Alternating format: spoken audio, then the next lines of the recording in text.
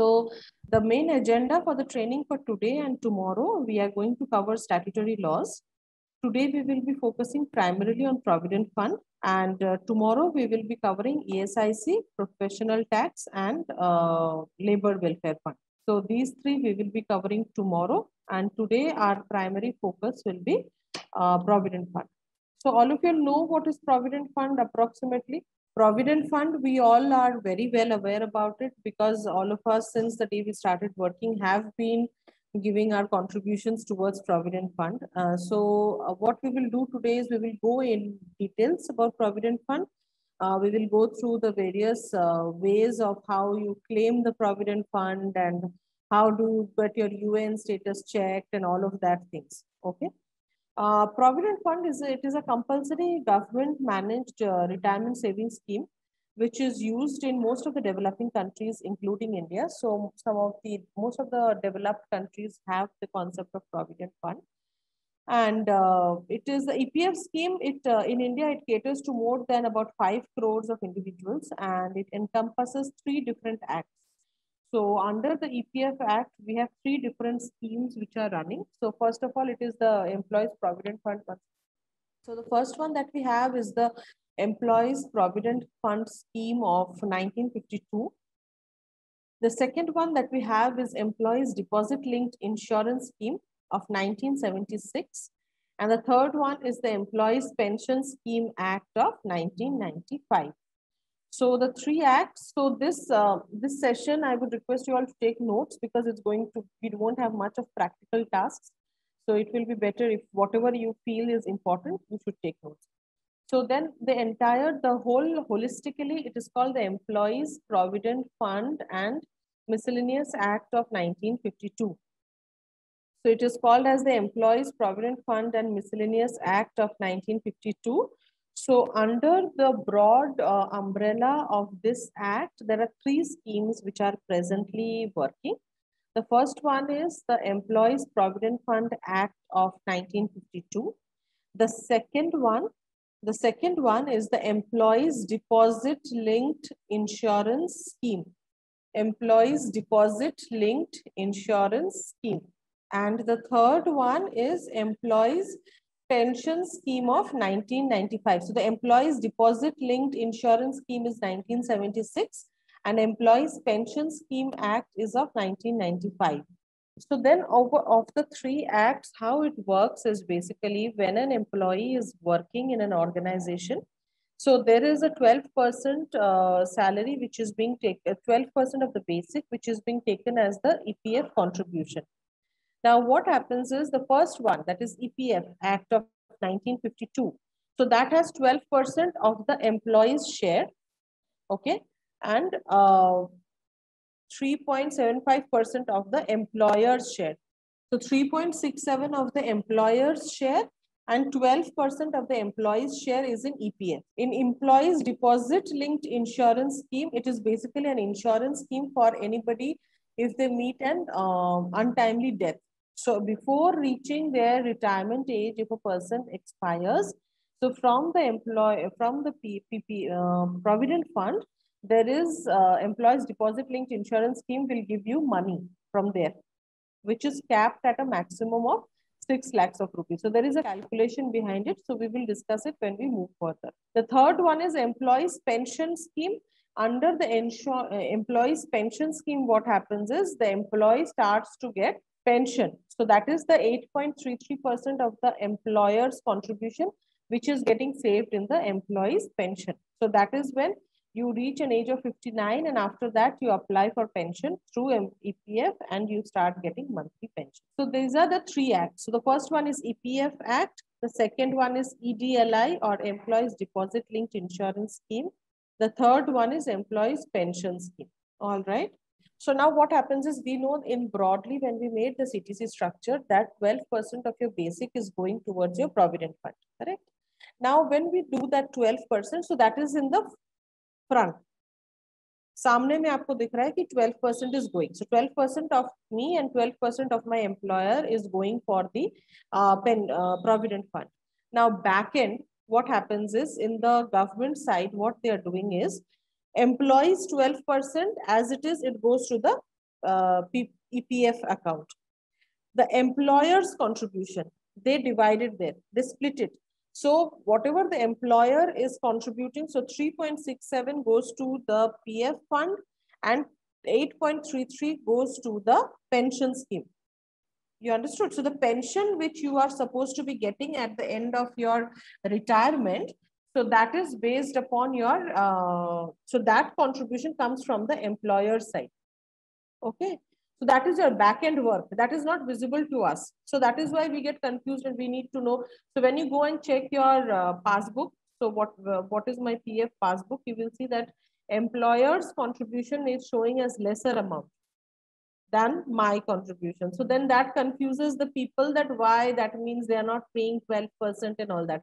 But that is not true. The 8.33% is actually going to your pension scheme. And for the employees deposit linked insurance scheme, what happens is that is in case of death. So that contribution is given only by the employer at the rate of 0.5%. And the government is contributing 0.5%. Okay. So there are three schemes. So for the general public, for the general awareness, we know that EPF takes away 12% of your salary, of your basic salary. Now, how does that 12% get divided? 12% of the employee is as it is intact in the EPF scheme. For the employer, the 12% is divided into 3.67, which goes to the EPF scheme, and 8.33, uh, which goes to the pension scheme. And employees deposit linked insurance scheme has an additional 0.5% from the employer and 0.5% from the government side. So that is that money the employee cannot get until and unless he expires, he or she expires. So that money is basically not, uh, you cannot withdraw or claim that money because you're not contributing for it. What you're contributing is what you're getting. So now, as we all know that under this act, the employees employee gives a portion of the salary to the provident fund and the employees also contribute on behalf of their, uh, so the employee is also contributing and the employer is also contributing. The money that goes in the fund is then held and managed by the government and it can be eventually withdrawn when the employee retires or if the person is uh, expired then by the surviving families or even before they retire. So if a person is not employed, unemployed, then also they can take that money back. Okay. So you have the option of premature withdrawal in case you are uh, not having any work with you or after your retirement, you get the money back or in case of your, anybody's death, the family gets the money back.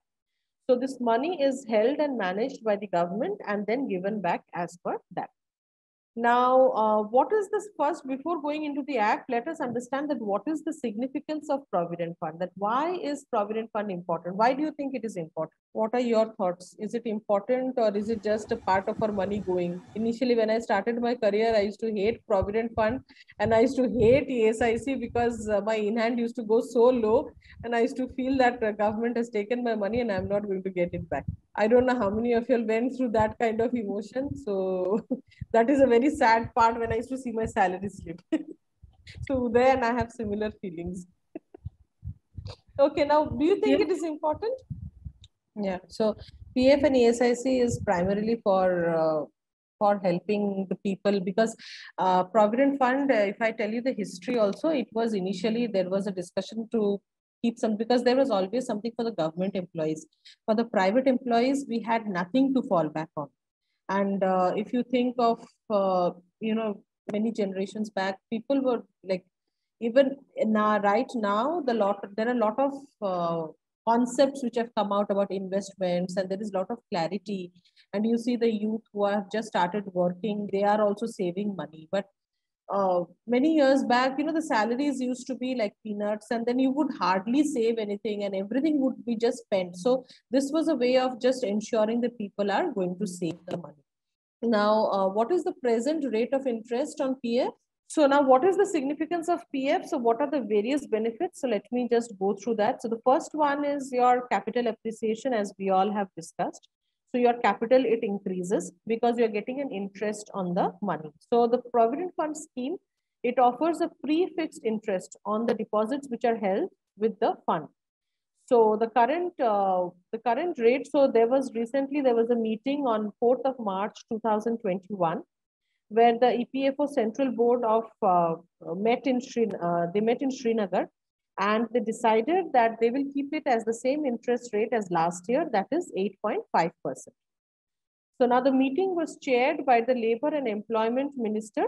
So, and he was present in Srinagar. So as you all know uh, that there was uh, Article 370 and all the, you know, there was a lot of uh, ruckus over it about uh, Jammu and Kashmir being, being separated and giving, they being given the state and the union territory kind of uh, things that had happened, right? All of you all are aware about it politically, what had happened. So now when the Provident Fund was initially launched, so if you go through the Act, the Act says that it will be, the scope of the Act will be across all of India except Jammu and Kashmir. Okay. So now when uh, they changed it, so now Jammu and Kashmir is also a part of the getting the people who are working there are now again eligible to get the uh, Provident Fund benefits. So earlier they did not have that. So maybe that was one of the reasons that this year the meeting was held in Srinagar. Okay, and it was chaired by the labor uh, labor minister. So who is uh, our present uh, labor minister of India? Anybody knows the name? So it is Mr. Santosh Kumar Gangwar, who is the present labor minister. So he is the he chaired the meeting and they decided to keep the rate of interest as the same as last year, which is 8.5%. Okay. Now, apart from capital appreciation, that is apart from your uh, money being increased because of the interest that you're getting, the second benefit that is there, it, that it serves as a fund for your retirement. So you get a pension, right? So approximately, as I said, 8.33% of the employer's contribution gets deducted towards the employee pension scheme. So in the long run, what happens is the EPF helps to build a healthy retirement fund that serves as a financial security for you and also gives you the independence after retirement. So after retirement, you are not dependent on anybody else for the money. You already have a pension which is coming in and that is at minimum of 1000 rupees per month. So even though we know that after 20 years, 1000 rupees will have no values in our life, but still there is some scope that you are getting some money that you are coming. Okay. Third one, also we have discussed it as uh, all of you have rightly said that it acts as an emergency fund. So because life is very, very uncertain, right? So thus EPF funds, they act as an emergency backup for the individuals. Now, what is the most recent example of a life being uncertain that we are living through is the pandemic. So that has totally made our life uncertain. So we don't know anything at all. So it is just like taking every day at one time. So now what is the government's role? What did they do with the EPF? So the so what they have done is basically so earlier that you had to be uh, not working for two months before you could claim your provident fund, right? So now what they have said is if you're unemployed after one month also you can start to, you can process your claim for provident fund. So in March 2020, the government notified an amendment. So they made an amendment in the EPF scheme with regards to the withdrawal of funds from the EPF account so that they could people could deal with the coronavirus related financial exigencies. Now, what is uh, there as per the changed rule? As per the change rule, a member can withdraw an amount of up to three months of basic salary or 75% of the balance that they have, whichever is lower. Okay, now let's do a little bit of maths. Now let's assume that there is an employee whose name is ABC. ABC is an employee uh, whose monthly CTC is 40,000. So you all write down, do the maths. So ABC's monthly salary is 40,000 CTC. Okay, and uh, the ABC has a PF account in which he has 1 lakh rupees. So now what is the money that he or ABC can withdraw? 75 lakhs or 75,000. 75. So which, how much can he withdraw? 75,000? 75,000. Three, four. because I said 75% of the sal PF, you all are withdrawing that much. No, I also said that he can withdraw basic. three months of basic or basic 75% of, of, the PF account, whichever is whichever lower. Is lower. That's why I said the maths. If 1 lakh ka to 75% is 75,000. Yeah, say uh, now. The basic. Uh, so how much will be the basic of the person? If my salary is 40,000 CTC, how much is my basic? uh, 16,000. 16,000. So 16,000 for three months is 40,000. 48,000 and 75% of my PF balance is 75,000. So basically if I apply for PF withdrawal, I can up withdraw only 48,000. Is it only applicable for the COVID situation? No, the, you have to be jobless for one month at least. So you have to submit all the documents related to that and after that only they will approve. Now what are the steps to withdraw and all, we will come to that later. Towards the end, I will show you all how to withdraw and all that. So we discussed about what are the benefits. So the first one is your capital appreciation. Second one is it is a fund for your retirement. Third one is it helps you in case of any kind of emergency. The fourth one is tax saving. So under uh, section 80C of the Income Tax Act, the employees control, so whatever they are getting as the interest, that that money is tax exempted. Okay. Now, in this budget, when Nirmala Sitharamanji presented the budget, she has said that the interest per year, if it goes above 2.5 lakhs, then the person will have to bear income tax on that, whatever is the excess amount. So uh, what happens is, uh, whatever is my savings, whatever is my PF contribution in a year, end of, so I get a, uh, so every month they're giving me the interest. The government is not waiting till Ap- uh, March end to give me the interest.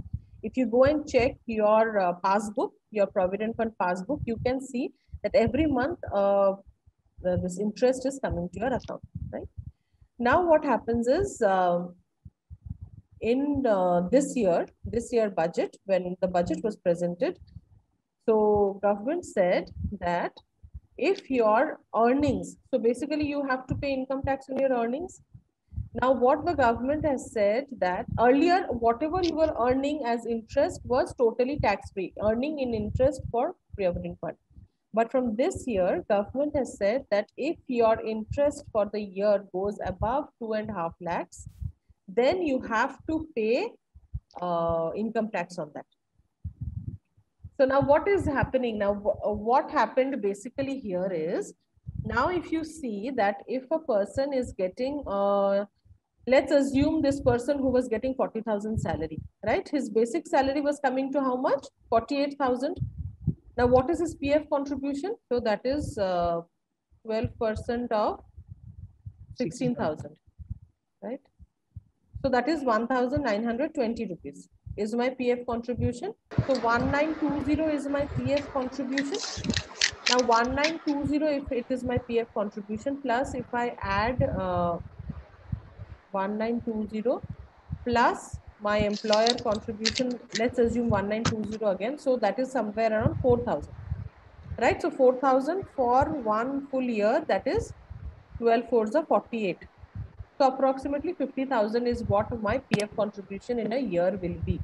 Now on that I will get uh, interest of 8.5%. Right, so that is maximum 50 to 53,000. Right, now with this new rule, what has happened is, as per the act, it is mandatory for the employer and the employee to give 12%. That is what we know. Now, but it is not mandatory for the employee. So the employee can decide to pay more PF as per the act. Now, as per the act, if we go as per the PF Act, the act states that the contribution is 12%. But the act also says that if an employee wishes, that person can contribute more than 12%. So if I want, instead of 1,920 rupees, I can also say that employer, I can tell the employer that you give 1920, but I want to pay 4,000 rupees every month towards my PF account. So which will take my PF monthly contribution to 4,000 plus 1920. So it will take it to 5920. right? You understood? So employer is paying the same 12%, but the employee can wish to pay more. So now that was being followed for so many years. So many people who did not have that many liabilities in life and were getting good handsome salaries, what they were doing is they were giving a huge bulk amount towards PF contribution. And that whole money was getting an interest of 8.5% and was becoming totally tax free. So basically they were earning from two sides because you are, first of all, you are saving then you are saving more and you're getting a good interest because 8.5% is a very good interest. You don't get that on fixed deposit or anything these days, right? And that is non-risk. It is not linked with any equity. So you're getting 8.5% and that is also tax free. So that was being followed from 1952 onwards till now. So now government has realized that, okay, they are doing all this with us. So now they have said that if your interest goes up and you get more than 2.5 lakhs, you will have to pay income tax. Okay, so this is a new change. So, but otherwise, for people who are earning average salaries, there is no risk. If people are getting like, let's say 50 lakhs CTC in a year or you know, for those people whose PF contribution is really bulk amount, for them it has impacted, but not for general public because general public generally we don't get that much of PF contribution also. Now, is there any ceiling limit On what? on PF basics? I mean, on that amount, only the PF contribution will be calculated on. No, there is no basic, there is no ceiling from the employee's contribution. 12% is what is minimum. Uh, basically, 10% is minimum, 10 to 12%. So, but uh, there is no limit on the employee side of contribution. So that they have not mentioned it yet. So maybe with the coming changes, they will do that because they have started realizing that people are using it. You know, what Um, started off basically as a social security fund is being used as a tax exemption. Uh, maybe someone basic is around uh, 50,000. So Hmm. 12% or 10% of 50,000 will be calculated. Hmm. Yeah, yeah. Because your basic is 40% of your CTC. So that stays there. Okay, so that was even, even I heard that uh, we can freeze uh, this basic if I don't want to contribute. For example, my basic uh, coming around uh, 40 or 50,000. Uh, so there is something that uh, we can freeze that basic. We can keep minimum is uh, that is also being followed by many organizations. So if you can uh, uh, no, clarify on the same. See, the basic is basically it is there is no hard and fast rule on how much has to be your basic. Generally, the industry follows 40% or 50%, 30 to 50% you could say, but generally people follow a 40 to 50% of your basic. Now, there are a lot of things which are dependent on your basic, right? Like, for example, your provident fund is totally dependent on your basic salary that you're getting. So, the it is always good to have a bigger basic because uh, basic will help you to get your provident fund and all. But certain smaller organizations what they will do they will give you less basic right? Your basic salary if your basic salary is low your hra will go down because 50% of your basic is your hra so what they will do is they will keep the bulk money in your special allowance. So the tax component definitely goes up. So ideally if you think as an employee also it is always better to have a have a healthy basic salary. Because only if your basic is a decent amount only then you can have a good provident fund which is a uh, your retirement uh, scheme. Then you can have a good hra so all that benefits will follow if you have a good basic salary. On the same uh, like employer also uh, will pay on the family same like 40000 if my basic is even though employer contribution also will increase right so that's the reason they are keeping it low Yes. See, the act, uh, unfortunately, what has happened is the law always speaks in a dicey terms. See, they have said that uh, this much has to be your PF contribution and everything, but they have never mentioned that what has to be your basic salary. You know, if you go through the acts, there is nothing mentioned. It is just an industry practice. So now, if they want to play around it, unfortunately, there is nothing much that can be done about it but otherwise ideally that is the way that these employers are trying to save the pf contribution if they put it at a lower rate so then their pf is saved because they're not having to contribute that much but for the employee it is a loss even for the. If the basic is low, then the Hmm. bonus calculation will generally be lower. everything everything will go low. So your pf contribute so your basic salary has to be healthy or uh, like the more you progress in life the basic has to keep on growing. But the employers are doing this because there is nothing mentioned in the law. You know you can't take them to court saying that why you have not given me 40% so these are bad practices which unfortunately the law also gives us scope because there are loopholes so people can uh, easily work around so that is one thing. Okay, so now we spoke about uh, the fund for retirement acts as an emergency fund and then about uh, how you can withdraw tax saving also. Then uh, you also have the insurance benefit, which is employees deposit linked insurance scheme, as per which that if a person meets with untimely death, then the family gets uh, insurance money, which is capped at maximum of 6 lakhs of rupees. So they get, uh, so the registered nominee will get a, a lump sum payment for the death. Then we have the premature withdrawal option, which we will be discussing when we go forward further. So all of you all have gone through the PF Act. Okay, so the Employees Provident Fund and Miscellaneous Provisions Act of 1952. Uh, this is overall called as. Uh, so there was, as I said, there was always a question regarding the future of the industrial workers uh, after their retirement because uh, there was nothing as such concrete for the private uh, sector workers. And they were also bothered that in case of any death, what would happen to their dependents? So primarily to the wives of the children, what would happen to them?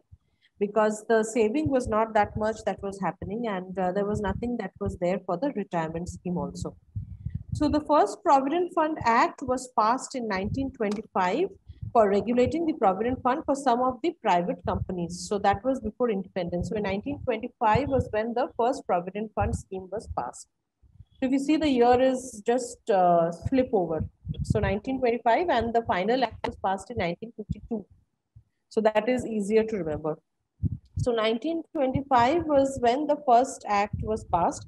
However, it was only in 1952 that the Employees Provident Fund Act came into force, covering the whole of India except Jammu and Kashmir at that time. So that was only in 1952 that the uh, act was passed as a whole.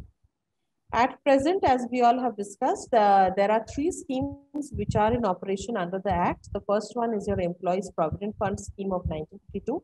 The second one is Employees Deposit Linked Insurance Scheme of 1976. And the third one is the Employees Pension Scheme of 1995. Now, the act that we are going to discuss is the Employees Provident Fund Scheme of 1952. So when you go through the act, so once that I've sent the act, it is a very heavy language, right? So the act is generally, it's it's got very heavy language. So the first thing that we have to see is that what are they saying? So the act says that uh, what are the various industries that it covers? So it says that uh, there are all the industries almost are covered under the Provident Fund. And uh, how many employees are minimum to start your Provident Fund? 20 or more employees have to be there for an organization to start Provident Fund. If the employees are lesser than 20, you don't have to start with your Provident Fund. Now, what happens if your uh, team strength is 20 or let's say 22 and you registered yourself for Provident Fund and after six months your employee strength fell down to 15, what will you do in that case? Will you still be covered under Provident Fund or not? Yes, so you have to still continue it. So once you have the Provident Fund scheme activated in your organization, even if the team strength falls below 20, you still have to continue with the PF contribution. So that is what the Act states. So if you go through the Act, it states clearly that minimum of 20 people is mandatory. But if the size falls below 20, still you have to contribute to the PF. Now, uh, the contribution that is decided for PF is at the rate of between 10% to 12%. All over India, we follow a 12% on basic salary as the rate for Provident Fund. Right? Now, which are the industries where they follow a 10%? So most of the time, the uh, the 10% is paid by the industries, which is brick, B-R-I-C-K, brick, matlab ईटा that we say in Hindi, eat or ईटा. So brick, BD, BIDI, BD. Coir, so the coir work that is, you know, that the coconut uh, threads coir. Guar gum, Hardware, guar, G-U-A-R, guar, G-U-M gum, guar gum. Jute,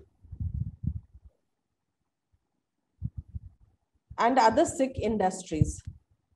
So if an industry has been declared, if an organization has been declared as a sick uh, organization, that is an organization which is not able to profit for over a long time and they apply for an exemption, in that case, they can pay 10%.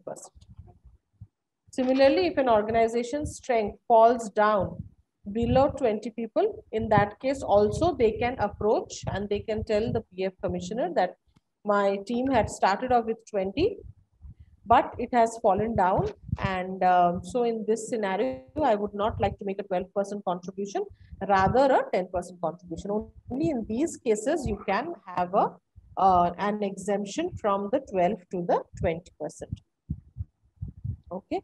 Now uh, let's go to the act.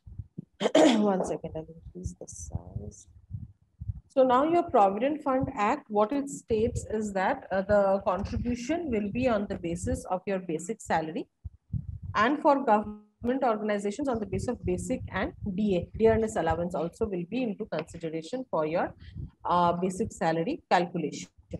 And any kind of uh, cash value for food concession that is given will also be a part of your basic salary. So now here the question comes that when we were designing the CTC structures, so at that time, uh, we had spoken about meal coupons, right? We had spoken about the meal allowances. So now should we calculate a PF on our meal allowance or not? So the meal allowances are basically coupons. You're not paying cash for that, right? So there was a historic case that was in 1995. So we all know Kelvinator company, right? They used to manufacture fridges.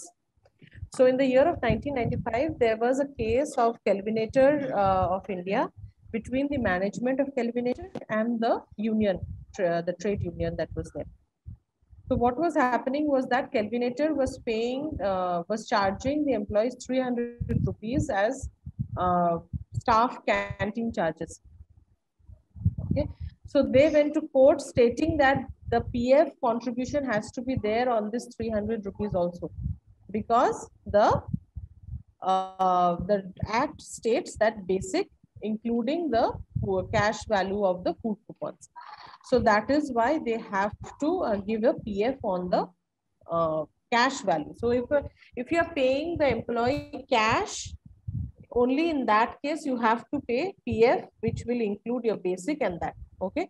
So when you're designing the ctc structures you have to be very clear about it. So better is if your organization wants to put in a meal allowance, so then that has to be in terms of coupons. If you are giving them as meal charges, then in that case, there will be a provident fund applicable on it.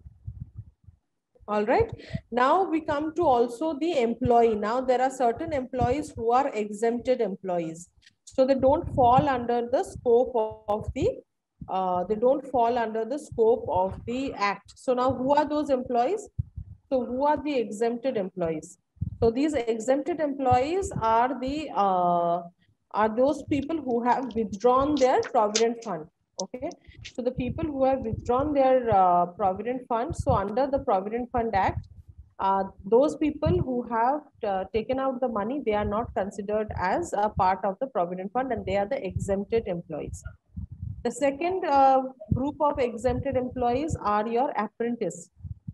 So many organizations you will see they are hiring apprentice. So these people, who are these apprentice now? Apprentice, so what people do is in order to uh, you know save on their expenses, many organizations they hire people as apprentice, right? They don't take them on roll. So now these apprentice, if they fall under the, the conditions that are stated by the Apprentice Act of 1961, then they will be exempted from PF contribution. If not, then you have to pay for their PF. Okay. So these are your exempted employees. So we have covered the exempted employees, the coverage of I have the one act. query. Yes, yes. Uh, like for example, I've withdrawn my PF, so I will not be eligible for uh, uh, further PF calculations. No, no. Or, uh, Again, when you re uh, when you rejoin some organization and your UAN becomes active again, then you will again fall under the uh, category of uh, the you will get all the benefits of provident fund. So if you have Okay, already withdrawn your money, then you are an exempted employee. Basically, you are not getting anything out of it. But once you again Mhm. join back some organization and you reactivate your UAN, in that case, you will again start getting the benefits of provident fund. Ma'am, is there a limit that within some time the UAN number must have been generated and the salary would have been come on the UAN number based PF account? No, there is no time as such because the UAN number once uh, that is activated, uh, so basically your money stays in that account. Okay, so when you are withdrawing that uh, money, so that time your UAN you can uh, you don't have to reactivate it. So mostly what happens is organizations these days. So earlier about uh, before the UAN number was launched, right? So the, uh, everything was launched, I think, believe in 2014. So before that, each organization used to issue you a separate UAN number. So that was one challenge because what money you have got from uh, PF contribution of one organization will again change from the other organization. But now what has happened is they have one universal UAN number. So whenever you are uh, changing the organization, your UAN number, you are following with that. one more query that I have. Uh, for Hmm. example, uh, uh, like uh, I have been sent outside. For example, I was working in India and been sent outside for say five years. So how how that is been calculated? Will there be a PF calculation applicable? How the thing goes? So the sa- the payroll is processed where that is the point because if the payroll is getting processed in India for that person, so then you have to pay the PF. Right. So now if if the person is on a payroll of abroad, like he joins ABC company in let's say in US, and the payroll and the salary is getting from there, so they will have to follow the statutory norms of US. But if the payroll is in India, then you have to follow the statutory rules of India. Okay. Uh, like have done two queries. Uh, uh, will there be a citizenship uh, kind of a thing applicable for uh, PF contribution? For example, XYZ is not citizen of India. So will that be uh, uh, applicable for PF calculation? And uh, there might be a dollar. Uh, again, same thing applies uh, for abroad as well. If he is not a citizen of that particular uh, you know country, so how that will be PF, how his PF contribution will be. See, because the payroll, if you are giving the person a payroll of India, then that person cannot change the citizenship, right? If the person changes the citizenship, then he, he- let's say after you move abroad, after six months, you have to, you are an NRI, right? That is what the rule states now. That once you move abroad, after six months of your stay abroad, you become an NRI. Now, once you become an NRI, it is not necessary that you give away your citizenship. You are still an Indian right so your status changes now whatever your earning is now what where are you earning if you are earning from abroad if my income is from abroad so whatever are the mm, necessary rules and regulations abroad that has to be applicable on that. So if i am let's say if i move to us so whatever is the statutory norms there so the if us organization is paying for my salary they will follow the statutory norms there. And if or on the other hand if india is paying for my salary then the statutory norms of india have to be followed. Now in your question which you are saying that if he is not a citizen of india then what do we do if he is not a citizen of india now for pf pan card is mandatory right? Right so if i am not a citizen of india i cannot have an indian pan card? So then how will you pay my pf you cannot. Because PF in India, dual citizenship is not allowed still. But unfortunately, what people do is they try to get the best because in developed countries, what happens? Your rate of interest is also low, right? So they most of the people they don't show that they have moved abroad. They still continue having the PAN card and they have the citizenship there also. Many in my friends have done it. So unfortunately it's a big country and there are a lot of loopholes that are available. But as an employer or as an hr person we have to be clear that if a person is not a citizen citizen of india then they don't have a pf contribution because for pf contribution you need to have a pan card. So if i'm not a citizen i don't have a pan card how can i pay for my pf so those things are there. So whichever is the country of uh, salary whichever countries uh, like I'm drawing the salary. So for that, uh, the rules of that country will apply on my salary. Yeah. Okay, so now the PF states that how is your PF contribution calculated on your basic, on your DA and on your retaining allowance. So what is your retaining allowance? Retaining allowance is basically the allowance which is paid by an employer for any of any factory or establishment during the period when the organization was not functioning. The best example is COVID. You know, now for COVID terms, what happened is many people, uh, especially like the industry that I belong to in hotels and all, what they have done, they have said that we will not pay you monthly salary. What we will do is we will pay you a lump sum amount to each and every employee, irrespective of the designation. So for example, let's assume that they said that we will pay each employee 10,000 rupees per month. So a junior person will also get 10,000 rupees. A senior director will also get 10,000 rupees.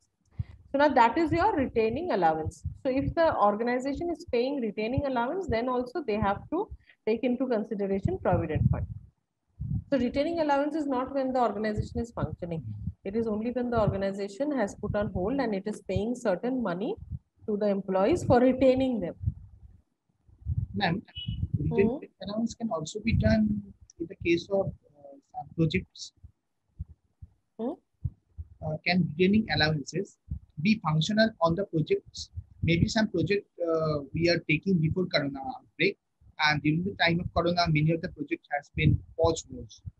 So during the pause situation, to retain the those employees, uh, project engineer and other people, we can provide the retaining allowances. Yes, yes, you can provide the retaining allowance in that case. Is it mandatory that we need to provide the same allowances, same mandatory benefit to every single employees in the organization? No, no, it is not mandatory as such. Because these are very emergency specific situations, yeah. right? So in emergency situations, it also depends on the uh, agenda of the organization. So now if I tell you from my industry that I belong, so what has happened is now as soon as the coronavirus got hit and the travel and tourism took a back state, so most of the hotels, they have done pay cuts, right? Now, if we think of any big brand, for example, let's say we think about Hilton, we think about Marriott, and they have, they operate in a flagship kind of model. So the brand gives its brand name and the owner is not owner is individual. So for example i open a hotel today and i approach uh, let's say marriott and say that why don't you make it a marriott named hotel? And i pay the marriott certain fees right? So this is how the hotels operate. Now what they have done is they have not done one uniform uh, policy across all the brands so it is all dependent on each and every employer now, how much they want to give. So there is nothing specifically mentioned because these are emergency situations. So there is nothing mentioned in the law that states that, okay, this is what you have to pay. So that is why the people are free to work around it.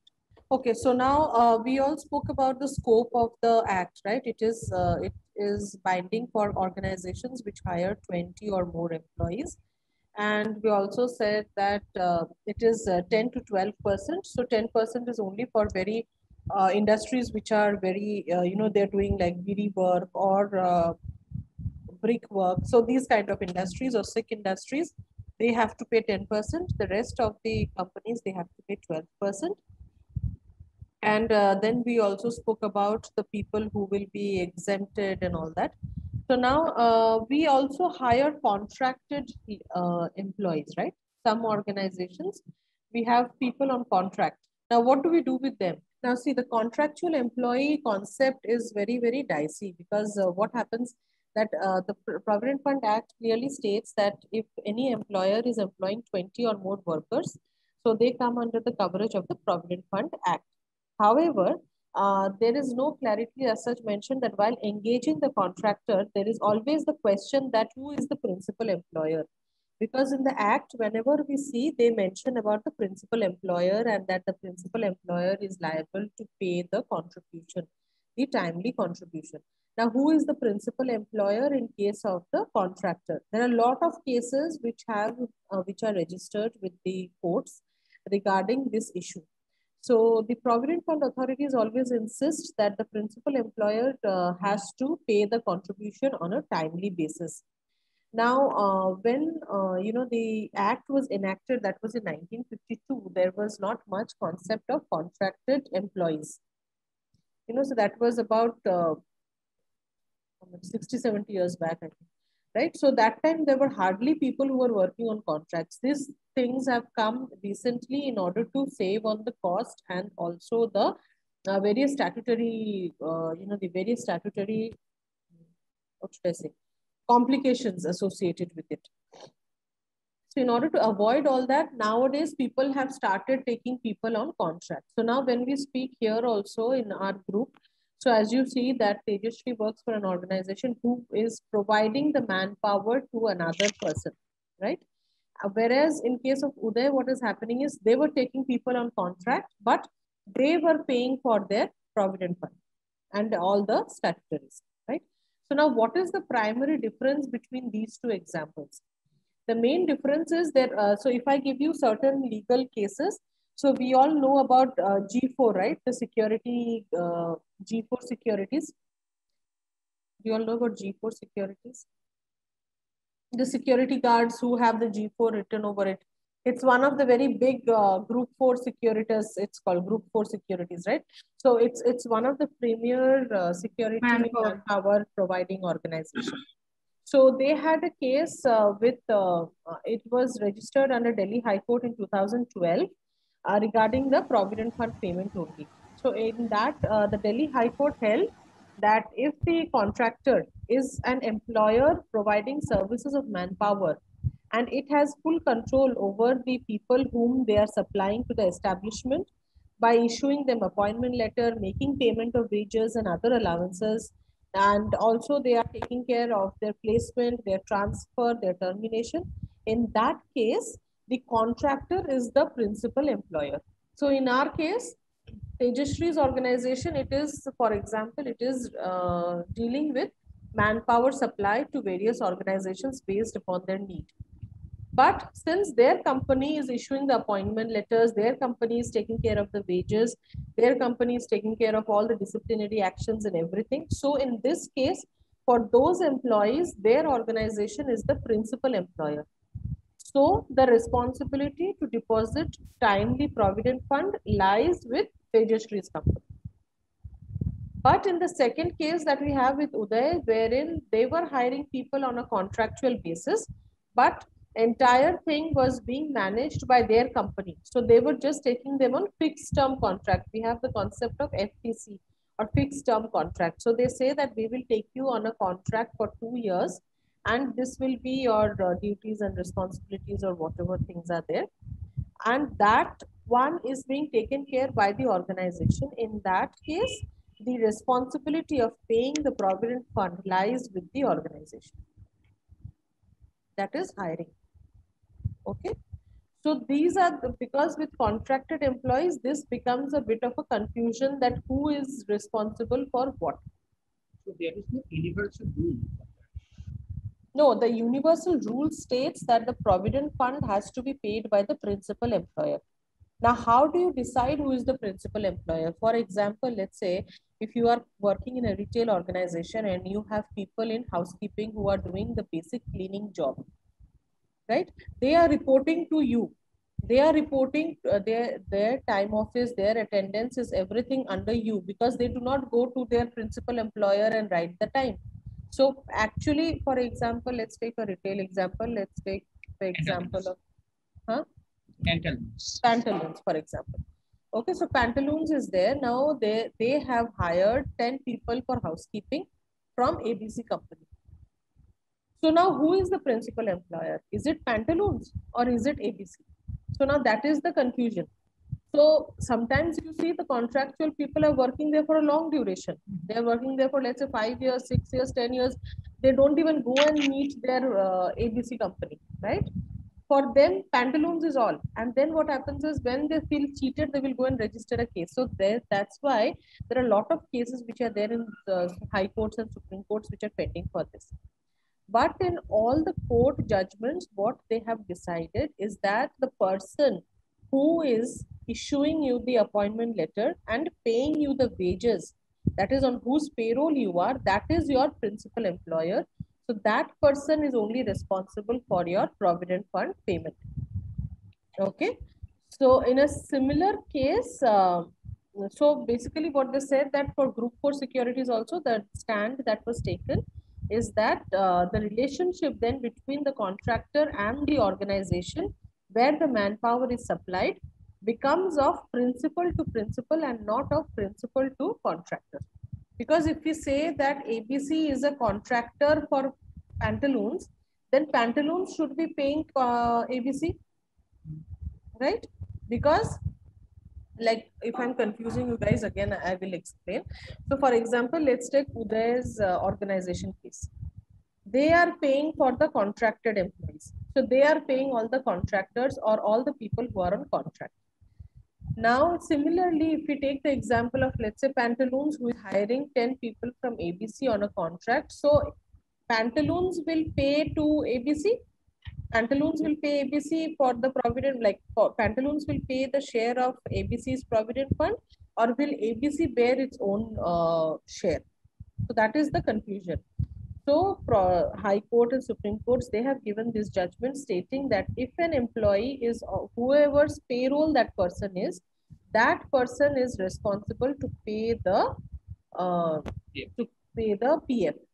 Okay, so in case of this kind of an example wherein people are being hired, for example, in Tejasri's case, so for example, in this kind of organization, the relationship that Tejasri's company is having with the company where they are providing the manpower is of principal to principal and not principal to contractor. Okay.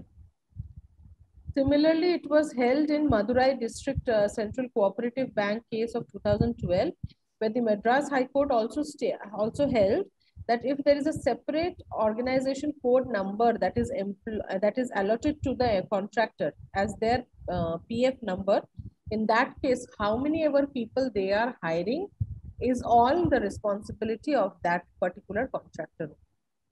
Okay. So there are these kind of examples which are there, which clearly states that in case of principal, employer and contractor, if the person is on the payroll of the principal employer, then the principal employer will pay the PF. If the person is on the payroll of the contractor, then the contractor will pay the PF. Now, what is your role then? For example, let's say you work as an HR of Pantaloons and you have ABC company who is providing you with uh, 10 people uh, for uh, manpower. Okay, or for example, let's take Tejasri's organization's example. Tejasri is providing, let's say, 15 people to ABC company. So now, what does the HR of ABC company do? So if Saurav, you are the HR of ABC company and you are hiring 10 people from Tejasri, so First what will you do with regards to PF? First of all, they need to be very clear on the contract list whether they are coming on the full-time contract or a part-time contract. If it's found that they are coming only for work down in here and we need to pay all the wages to Tejasri, then it will be the responsibility of Tejasri to put the PF from her side. Yeah. And if if the on the contract it's been very clearly mentioned that all the em- 10 employees they are coming in our organization for a full-time or part-time work and they will uh, and we need to provide the wages from our payroll uh, in the uh, in the our uh, in the Cantonese or ABC's uh, payroll in our side, then the PF will be responsibility from my side. Okay. So now, for example, you are not taking the person. Okay. The person is on the payroll of Tejasri. Okay.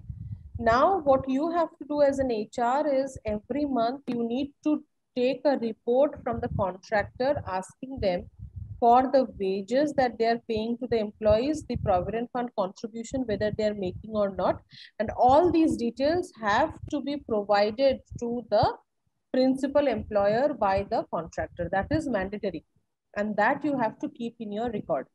Because if you have a PF uh, audit which comes to you, they will want to see that the uh, people who are working in your organization, they may be contractuals, but is their PF contribution going or not? So as a principal employer, as an HR of a principal employer, it is your responsibility to ask the contractor to provide you with all the details regarding their attendance, their wages that is being paid to them, as well as their PF and ESIC contribution, whether that is being made or not. Okay, so Tejashri, I believe you are providing this kind of report to the organization where they are working. No, actually, I was not been a part of audit uh, so far. So Hmm. we actually have a per hour uh, rate that Okay. um, you know been provided by the uh, uh, company. Mhm. Okay. So these people, they don't work full time there then.